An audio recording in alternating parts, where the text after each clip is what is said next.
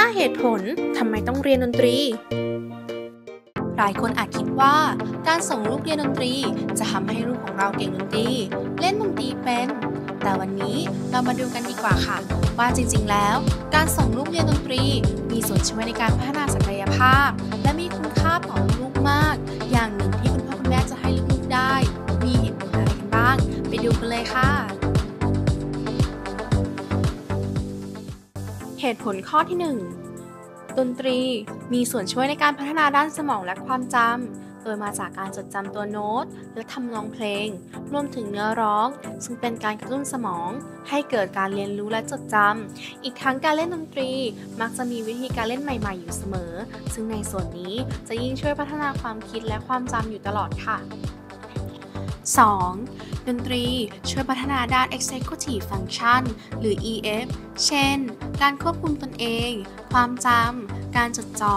การยืดหยุ่นทางความคิด การตั้งเป้าหมาย การควบคุมอารมณ์ ความพยายาม รวมถึงการประเมิน และรู้จุดบกพร่องของตนเองค่ะ 3. ดนตรี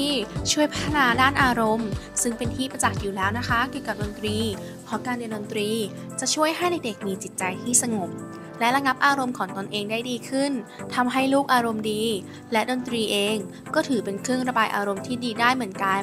อีกทั้งยังช่วยส่งเสริมให้เด็กมีการเข้าสังคมกับเพื่อนๆรวมถึงคนอื่นๆ ได้อีกด้วยค่ะ มาถึงเหตุผลข้อที่ 4 ดนตรีจะช่วยฝึกสมาธิ และการสร้างวินัยในการใช้ชีวิตค่ะ การเล่นดนตรีที่ถูกต้อง ในช่วงระยะการฝึกเล่นดนตรีในช่วงแรก ๆ นั้นจำเป็นที่จะต้องมีการฝึกการนับจังหวะ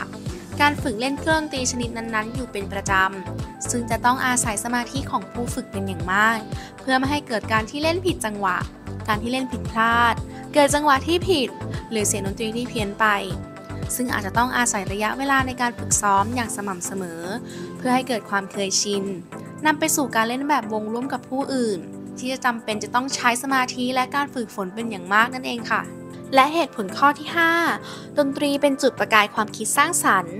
ในการสร้างเสียงดนตรีถือเป็นศิลปะชนิดหนึ่ง ซึ่งในการเล่นดนตรี แน่นอนว่าจะต้องมีการแต่งเพลง หรือการประยุกต์เสียงเพลง ให้เข้ากับรูปแบบของการเล่นดนตรี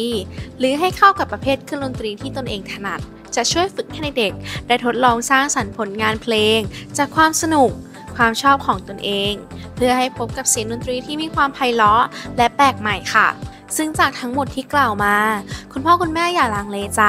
ที่จะทุ่มเทเงิน และเวลาเพื่อสนับสนุนให้ลูกได้เรียนดนตรี และให้ลูกรัก ได้เลือกเครื่องดนตรีที่ถูกใจ ทั้งนี้สิ่งที่สำคัญคือ เวลาในการเรียนและเล่นดนตรี ควรเป็นเวลาแห่งความสุข ซึ่งนอกจากจะทำให้ลูกได้ฝึกสมอง และได้สร้างเสริมพัฒนาการด้านต่างๆ ยังนำมาซึ่งช่วงเวลาคุณภาพ ในการสื่อสารสัมพันธ์ ระหว่างคนในครอบครัวให้แน่นแฟนขึ้นอีกด้วยค่ะ